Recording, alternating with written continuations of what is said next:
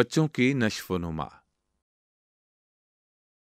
इस वीडियो में हम सीखेंगे कि सेकेंडरी स्कूल के बच्चों की समाजी और जज्बाती नशवनुमा सोशल एंड इमोशनल डेवलपमेंट को फ़रोग देने के तरीके क्या हैं। सेकेंडरी स्कूल के बच्चों के उमूमी और गैर उमूमी रवैये टिपिकल एंड एटिपिकल बिहेवियर्स में फ़र्क कैसे किया जा सकता है? सेकेंडरी स्कूल के बच्चों की नशवनुमा। सेकेंडरी स्कूल के बच्चे आम तौर पर 12 से 18 साल की उम्र के दरमियान होते हैं, जो नौजवानी का मरहला होता है। ये उम्र किसी भी बच्चे की ज़िंदगी में उम्र के बाकी तमाम हिस्सों से ज़्यादा अहम और पेचीदा होती है। इस उम्र में बच्चों की भरपूर समाजी और जज्बाती नशवनुमा का परवान चढ़ना बहुत अहम है। क्योंकि इस दौरान में एक बच्चे की ज़िंदगी में बहुत सी तब्दीलियाँ हो रही होती हैं। इस उम्र में बच्चे अपनी एक अलग शनाख्त बनाने की कोशिश करते हैं, ताकि वो अपने दूसरे हम उम्र साथियों के साथ अपनी जगह बना सकें। आइए जानते हैं कि 12 से 18 साल की उम्र के बच्चों की समाजी और जज्बाती नशवनुमा के मराहल कौन से हैं?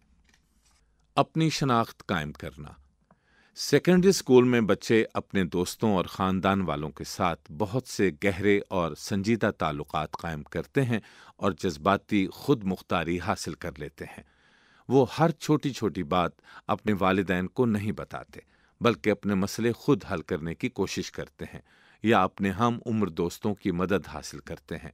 अपनी आने वाली ज़िंदगी के बारे में फ़ैसला करते हैं कि उन्हें क्या बनना है और कौन सा पेशा अपनाना है। इस तरह वो अपनी एक अलग शनाख्त कायम करते हैं।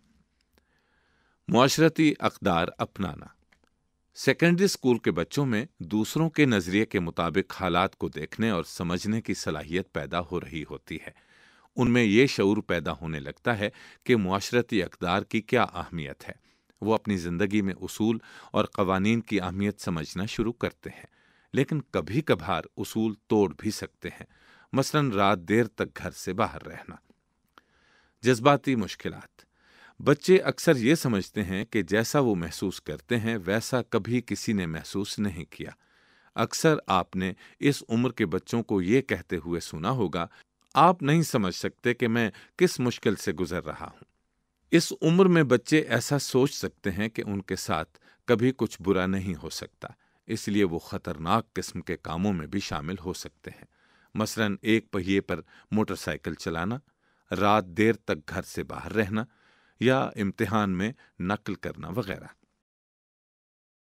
सेकेंडरी स्कूल जाने वाले बच्चों की समाजी और जज्बाती नशोनुमा को फ़रोग देने के मंदरजा झैल तरीक़े अपनाए जा सकते हैं।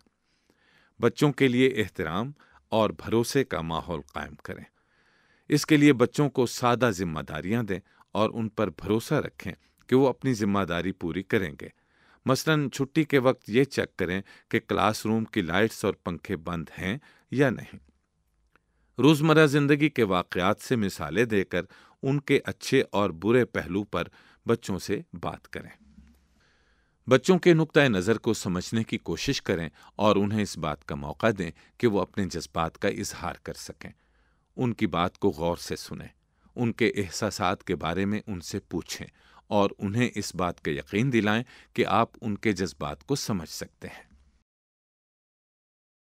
सेकेंडरी स्कूल के बच्चों में सेहतमंद नशव नुमा को फ़रोग देने के लिए ये काउंसलिंग के बुनियादी उसूल अपनाए जा सकते हैं। बच्चों के साथ हमेशा नरमी से बात करें। बच्चों को यकीन दिलाएँ कि आप उनके एहसास और जज्बात को समझ सकते हैं। अगर बच्चा किसी मुश्किल का ज़िक्र करे तो उसकी हौसला अफजाई करें और उससे निमटने में बच्चे की मदद करें।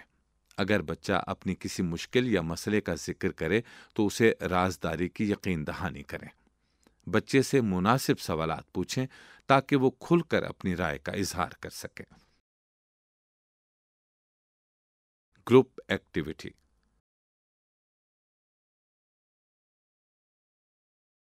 जैसा कि हमने पहले बात की कि इस उम्र में बच्चे बहुत सी तब्दीलियों से गुजर रहे होते हैं, जिनकी वजह से वो चंद जज्बाती मुश्किल का सामना कर सकते हैं। कभी कभी ये मुश्किल कुछ गैर उमूमी रवैयों की सूरत में भी ज़ाहिर हो सकती हैं। मसलन जैसे हर वक्त शदीद उदास रहना, ज़रूरत से ज़्यादा गुस्सा करना, बिल्कुल अलग थलग रहना, या शदीद लड़ाइयाँ और मारपीट करना।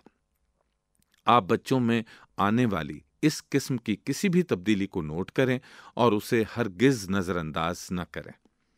सबसे बेहतरीन तरीका यह है कि बच्चों से इस बारे में बात की जाए कि उनके रवैये में यह तब्दीली किस वजह से है और वो क्या महसूस करते हैं।